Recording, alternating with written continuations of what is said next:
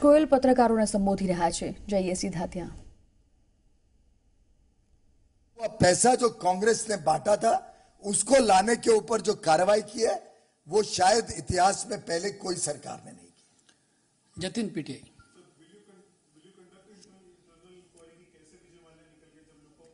I'm sure the investigative agencies will be looking at it एक minute एक minute, नहीं JP Yadav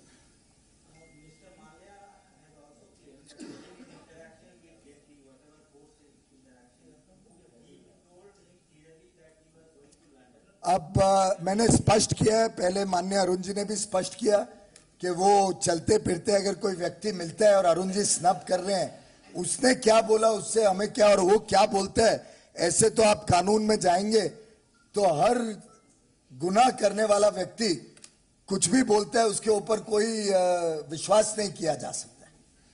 Chatterjee इसके बाद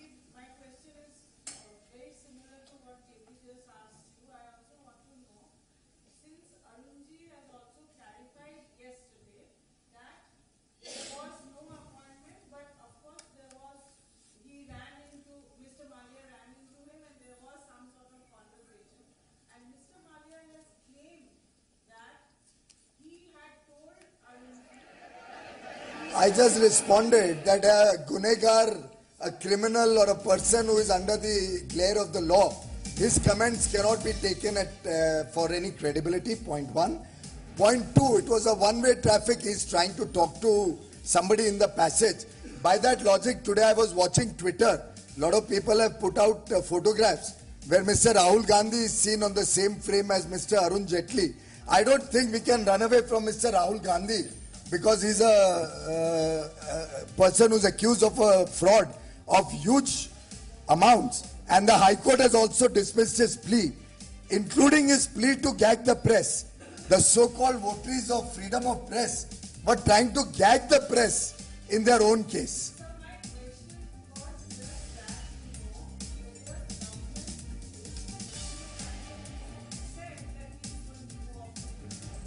Well, very obviously, Mr. Jaitley has clarified it yesterday that in the course of uh, his uh, walking in the corridors in Parliament, if somebody tries to grab his attention and say anything, I don't think we are expected to listen to any and everybody.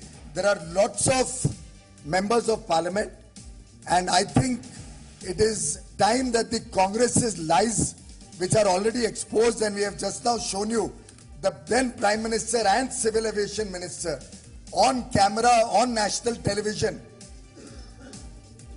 acknowledging that they are trying to find a way to save their friends, maybe under instructions of the then leadership of the Congress, which used to, in any case, run the government. आप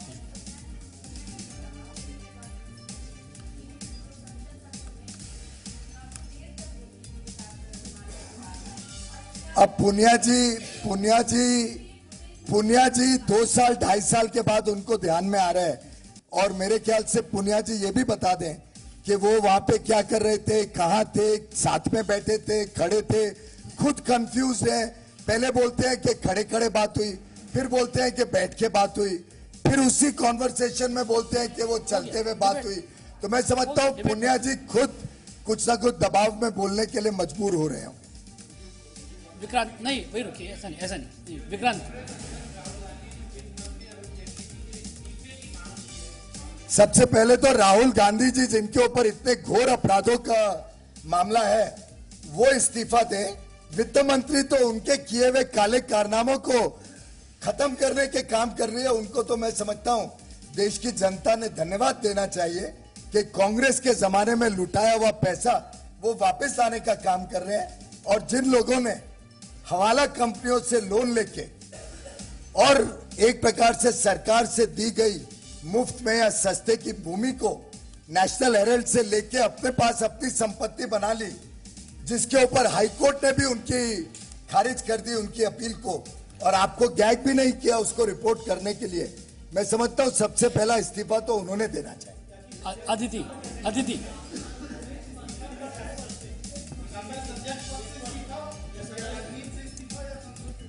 मैं समझता हूँ कि तीनों चीज़ देश की जनता उनसे करवा लेगी।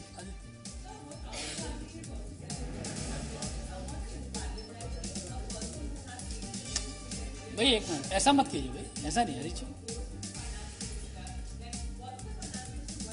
इतना नहीं ज़्यादा नहीं। Well I think we will have to wonder whether we can even talk to mister Rahul Gandhi anymore in parliament Devendra.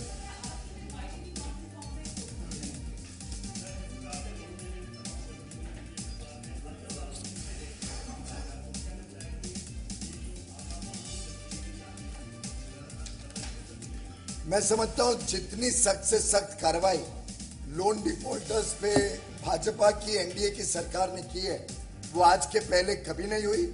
आप याद करें, कभी कोई इतने बड़े डिफॉल्टर्स को अपनी संपत्ति बेचनी पड़ी हो, या उनकी संपत्ति जब तो ऐसा कभी पहले इतिहास में नहीं हुआ। ये पहली सरकार है मोदी जी के नेतृत्व में, जेटली जी के नेतृत्व में, जो कड़े से कदम, कड़े से कड़े कदम लेके इन सब गुनहगारों को कानून के शिकंजे में ले रही। है नहीं नहीं ऐसा नहीं होता भाई यहाँ नंबर से जिसका हाथ उठता ऐसा नहीं करते हम आपकी तरह नहीं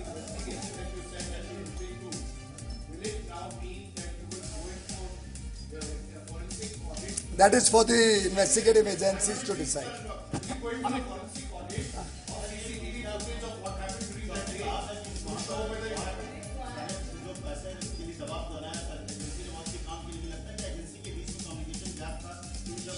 वो इन्वेस्टिगेटिव एजेंसी से जवाब दे पाए विकास ऐसा नहीं सर पृथ्वी लास्ट चलो इसके बाद